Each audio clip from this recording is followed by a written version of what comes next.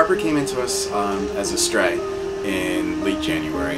Uh, she's about a year old, and she came in in pretty rough shape. She was pretty emaciated, uh, so she was really underweight. She wasn't really being taken care of, being fed very well.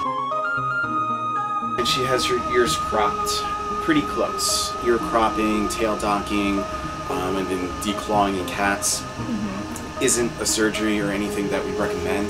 It's pretty much a cosmetic surgery.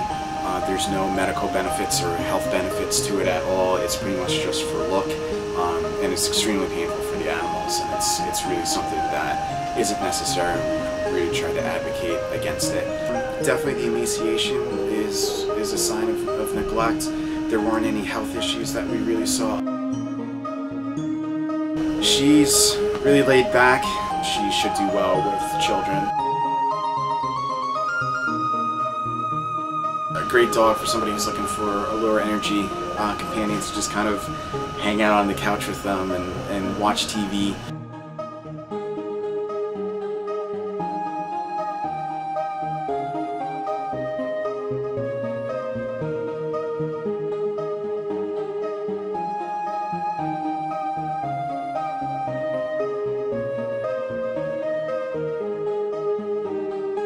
She doesn't have any issues with, with uh, any people or strangers or anything like that. Um, she's just a really laid back, pretty happy pup.